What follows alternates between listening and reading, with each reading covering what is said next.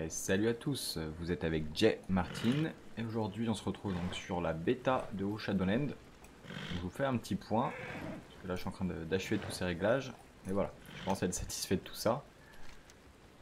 Donc là comme vous le voyez je suis sur mon chasseur. Ce qui, s'est passé euh, c'est que donc il y a une petite semaine, il y a quelques jours, Blizzard a fait un reset de tous les serveurs et donc, euh, j'ai perdu tous mes persos. Donc voilà, pas, bon, c'est une bêta, c'est le but, hein, pas de sentiments. Mais du coup, maintenant, on peut uniquement créer des personnages euh, de niveau... Je sais pas ce que c'est ces petits ronds là. Bref, on peut uniquement créer des personnages de niveau 50. Et voilà, il faut faire tout, euh, tout Shadowland dans l'ordre. Donc c'est pas mal. Donc bon, je me suis refait un chasseur, hein, ma classe de prédilection comme vous voyez, je suis en train de survoler Bastion. Vous pouvez observer à quel point c'est magnifique. Le game design, là, il y a un sacré boulot qui a été fait. Donc voilà, je, prends mon temps, je suis en train de refaire les quêtes. comme vous voyez, je suis niveau 52 sur le chasseur. Je suis en train... Hop, j'en suis donc à, 5 sur 7. J'ai quasiment fini donc la campagne de Bastion. Donc après Bastion, on va basculer sur Maldraxxus. Après Maldraxxus, Sylvarden. Et on va finir sur Revendreth pour après faire le contenu au niveau. Donc là, euh, j'ai déjà, fait toutes les, campagnes euh, à part euh, Sylvarden que je m'étais gardé. Donc là maintenant je le refais tranquillement. Et puis, et puis voilà. Là je vais pouvoir... c'est vrai que j'ai eu pas mal de, de, choses dans ma vie privée à enchaîner ces dernières semaines là. Donc j'avais pas forcément l'énergie pour streamer euh, entre minuit et 2h du matin après avoir fait des journées de 10 heures. Voilà, on va pas se le cacher. Euh, maintenant je vais pouvoir reprendre les streams régulièrement sur Twitch. Euh, donc, donc ouais, dans tous les cas, de toute façon je vous mettrai les VOD sur YouTube, puisque c'est vrai que pour l'heure française, en général je stream assez tard. puisque en général je peux démarrer une fois que j'arrive à, à, avoir toute ma meute d'enfants au lit je peux être à peu près tranquille euh, pour, euh, pour jouer. On est sur du... En général, c'est vers 22h. Euh, je commence à stream vers 22h, 23h chez moi. Donc, heure française, ça fait 23h minuit à peu près. Donc, en général, je stream voilà, de, 23h minuit jusqu'à 2h du matin en général, heure française, quand je stream. Donc voilà, je sais que forcément, ça convient pas à tout le monde. Donc, à chaque fois, je, vais remettre les, vidéos à la demande sur la chaîne YouTube pour ceux qui veulent le regarder en différé. Et puis voilà. je vais pas vous faire une vidéo très longue, c'était juste vous faire une petite, euh, petite mise à jour sur l'actualité. on va prendre un familier, ça sera mieux quand même. Mais euh, ouais non, la bêta est toujours aussi cool. Euh, là il y a quand même pas mal de, de choses qui ont été résolues en termes de bugs. Pour le ça marche, et bon c'est toujours, euh, c'est pas parfait, hein. il y a encore des petits bugs à droite à gauche. Mais globalement, ça va. Je suis pas trop embêté pour progresser. La zone euh, me fait toujours autant plaisir.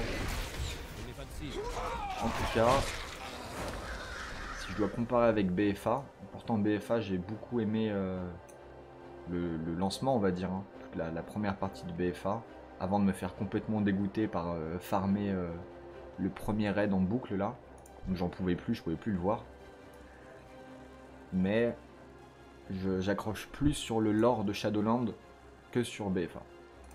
Bien que tout n'était pas acheté sur BFA. Ah bah voilà. Petit PEC 53 en live du coup. Regardez les skins. Euh, il y a un travail de fou qui a été fait sur BFA. Voilà, que ce soit le lore, les quêtes, euh, le design. Parce que si vous regardez les zones, elles sont toutes magnifiques. Tout est travaillé comme jamais. Euh, c'est pas mal. Je trouve qu'il y a une bonne... Euh, Blizzard a bien redonné de l'identité à à toutes les classes. Donc je vais pas tarder maintenant à reprendre mes vidéos sur les présentations des spécialisations pour pouvoir tout couvrir. Je sais que là ça fait un petit moment, notamment la dernière euh, sur le voleur, donc je suis pas satisfait du tout, puisque au final euh, je me rends compte a posteriori que j'ai dit pas mal de conneries sur cette vidéo et euh, ça, voilà. suis pas satisfait de ça, donc je referai celle du voleur assassinat. Pour la faire vraiment claire. Après, ce qui se passe aussi, c'est que là, entre l'alpha et la bêta, Blizzard a changé pas mal de, mécaniques, notamment le, prêtre ombre, qui est une spé que j'adore, mais qui était euh, une des pires spé pour, pour Shadowland pour le moment. Et là, il y a eu des modifications vraiment sympas. Donc euh, voilà, je vous présenterai ça dans les, dans les semaines qui arrivent. Et puis je vous ferai toutes les spé. De toute façon, je me suis engagé euh, je crois que c'est quand j'ai commencé à streamer, donc j'ai eu l'alpha sur la deuxième semaine, donc j'ai eu l'alpha aux alentours du 10 ou 15 avril, hein, pour vous donner une idée. Là, ça commence à faire quelques mois déjà que je suis sur, euh, sur Shadowland. Euh, je vais commencer à vous faire... je me suis engagé à vous faire toutes les spécialisations d'une manière ou d'une autre. Donc je tiendrai mes engagements avec vous, ça c'est sûr.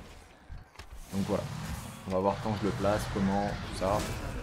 Je dois attacher mes enfants à des murs pour pouvoir euh, enregistrer tranquille, ce sera une option, mais euh, voilà. Dans tous les cas, je m'engage à le faire auprès de vous et ça sera le cas. Par contre, l'ordre n'est pas défini, donc euh, dans les commentaires, n'hésitez pas à me dire quelle classe vous voulez, quel spé vous voulez, découvrir en priorité, et puis l'aspect qui sera la plus populaire à ce moment-là, je reviendrai vers vous. Ah, on va la reprendre. L'aspect la, plus, euh, la plus populaire dans les commentaires, ce sera celle que je présenterai en prochain. Je vous ferai également des présentations plus, euh, plus travaillées sur notamment le choix des Covenants. Alors vous pouvez avoir beaucoup d'informations là-dessus. Pareil, je m'étais, j'avais commencé, j'en avais enregistré une et au final j'ai pas publié puisque Blizzard euh, faisait pas mal de, modifications dessus et ils ont vraiment écouté les retours que les personnes sur la bêta vont euh, leur faire. C'était vraiment cool. Notamment euh, concernant les conduits. Euh, sans rentrer trop dans les détails. Mais en gros, quand vous êtes au niveau, niveau maximum et que vous choisissez donc un, vous choisissez votre Covenant, vous avez un système d'arbre de talent, un petit peu similaire à ce que vous pouvez avoir à, Vanilla, on va dire, avec des branches, trois personnages disponibles, et on peut débloquer avec des, en fonction de, paliers des bonus. Enfin, voilà. On verra tout ça dans le détail dans les, futures vidéos.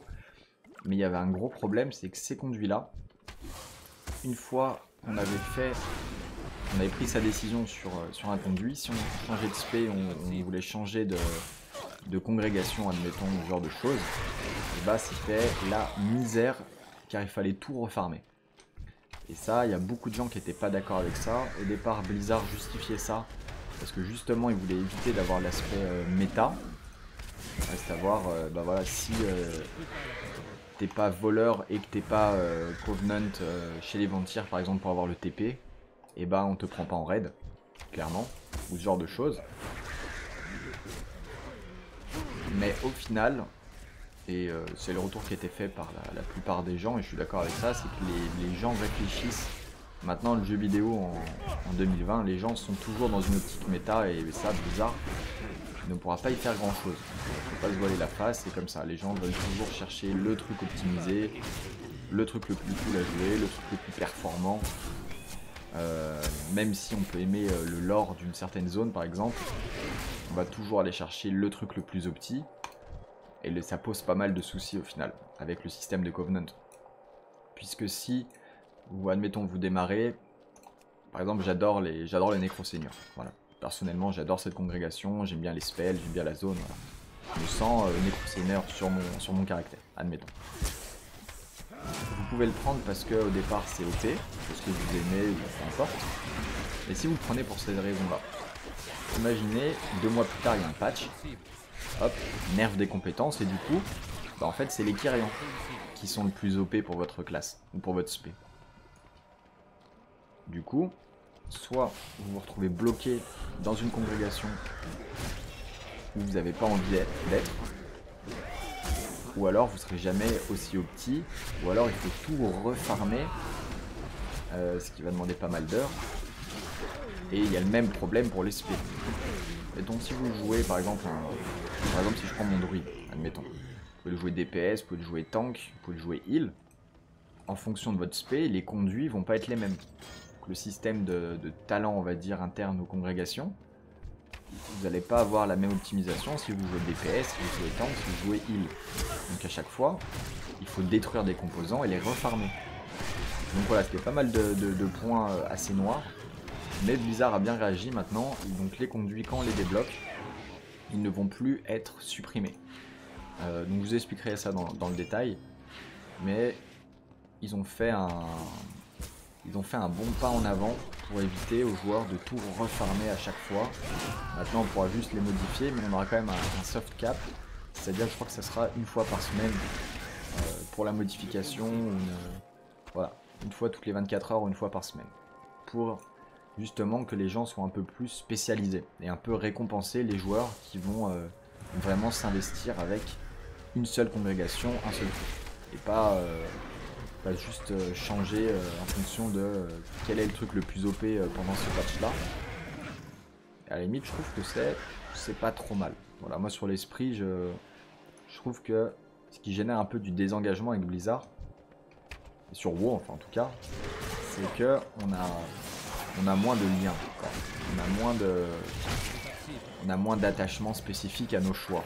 Si on peut modifier tous nos choix très facilement,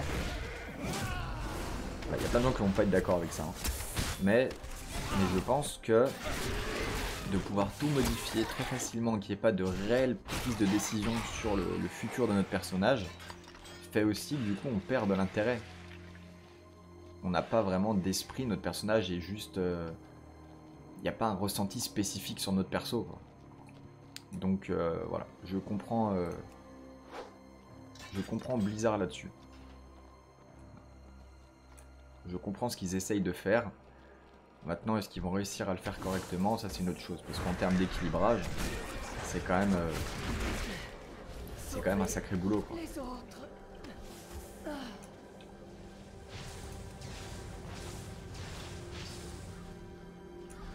Hop.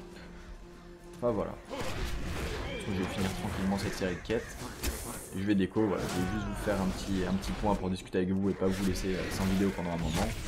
Mais euh, je vais... Le prochain stream sera dans les jours qui arrivent là. Là maintenant les réglages de stream sont finis.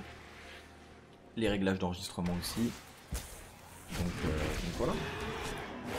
N'hésitez pas surtout à vous abonner, que ce soit sur YouTube ou sur Twitch, si vous voulez avoir des notifications quand je stream. Comme ça, vous serez averti si vous voulez discuter avec moi en live, ou même, hein, je suis en live, si vous voulez que je vous montre un contenu spécifique. Euh, c'est jouable aussi. Euh, donc, voilà. Et puis si vous avez envie de contenu spécifique sur la bêta, que je vous montre certains points, n'hésitez pas dans les commentaires aussi. Encore une fois, je lis les commentaires tous les jours. Euh, je réponds à chaque commentaire personnellement. Et je prends mon inspiration de là pour vous faire les prochains contenus. Comme ça, moi, je suis sûr de faire des choses qui vous intéressent. Donc, donc voilà. Sur ce, hop. Alors voilà je vais finir la quête. On va finir cette quête là tranquillement. Volontairement, je vous parle pas d'où j'en suis dans la campagne, parce que peut-être des gens qui n'ont pas envie de le savoir, qui ne pas être, euh, être, euh, spoilé, pas comment on le dit proprement en français, mais voilà, vous m'avez compris. Donc, ça de côté.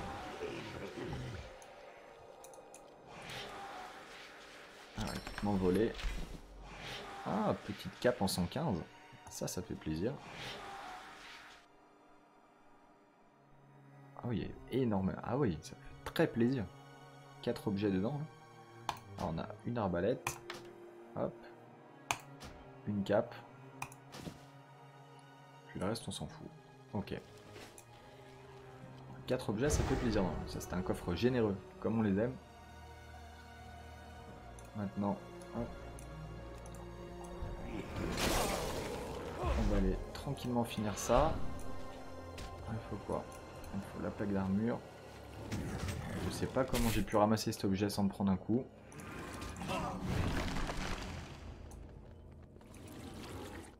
On va aller prendre la plaque qui est là-bas.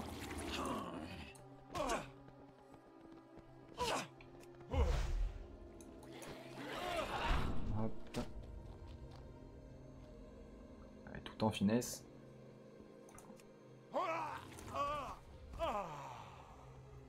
pense que ce spell, c'est minimum 40% des raisons pourquoi je joue ma classe. Qu'est-ce que j'aime feindre la mort.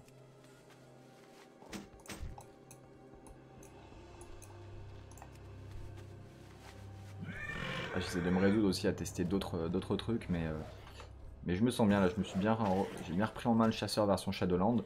Le tiers mortel rentre vraiment bien. La petite compétence de classe pour ajouter un peu de, touche et de gameplay, de profondeur de gameplay, ça passe très très bien. Super, bijou, super.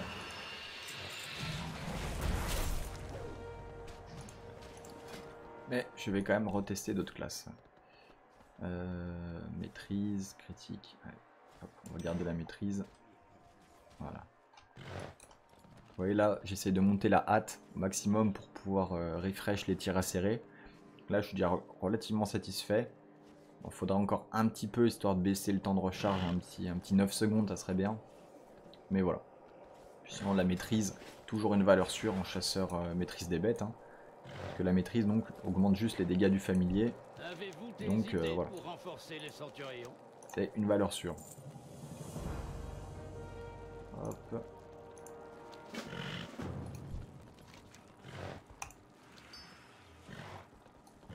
Va s'arrêter là. Passage, vous voyez, là on est à l'entrée du donjon sillage nécrotique. Euh, j'ai dit enregistrer trois vidéos dessus, aucune n'a été publiée puisque faut savoir que le donjon est buggé depuis l'alpha. Euh, donc le donjon, donc on est en bas, on fait tout ça. Après on monte dans l'espèce de, nécropole qui est au-dessus là. On peut voir, euh, oui, je, je, suis aveugle, qui est tout là en fait. Et là il y a un boss à l'entrée et il y a le boss de fin derrière. Et le problème c'est que le boss de l'entrée, les trois fois où j'ai testé de vous montrer ce donjon, à chaque fois il y a un bug, ce boss là ne se déclenche pas. Et donc je voulais pas juste vous, montrer la partie du bas euh, incomplète. Euh, parce que voilà, c'est un peu décevant, mais je vous ferai une vidéo propre dès que je pourrai une fois le compléter en intégrale. Quand Blizzard aura patché ça. bon, ça fait plus d'un mois déjà hein, que le bug est présent. Pour vous montrer le donjon. Mais en tout cas, c'est assez cool.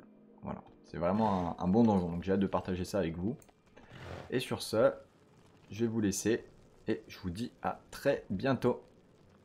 Allez, ciao